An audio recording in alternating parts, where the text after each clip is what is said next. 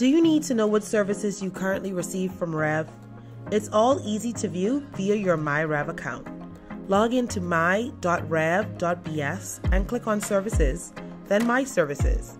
You'll then be able to view your mobile, internet, or television services received from Rev.